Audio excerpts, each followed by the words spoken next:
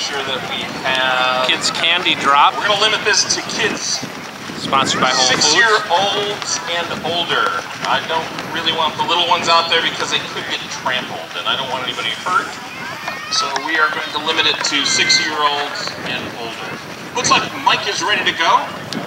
We are going to make our way out right where he tells us. And we're going to stop where Here he at the Go tells Fly us. a Kite- He's pointing to an area that you all Park. need to go over to.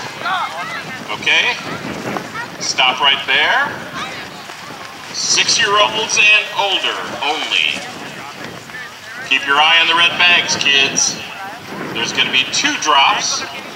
The first one, two bags, one drop. Here we go. Five, four, three, two, one. Get right underneath those red bags.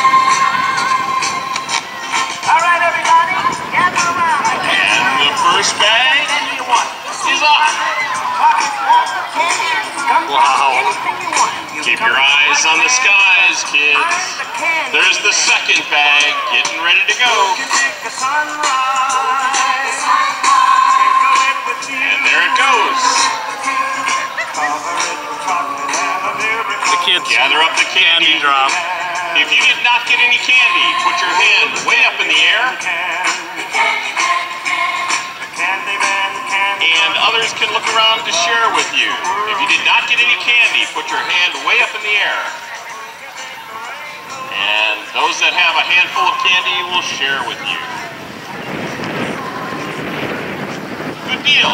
Once the field is cleaned up of candy, make your way off the same way you came on.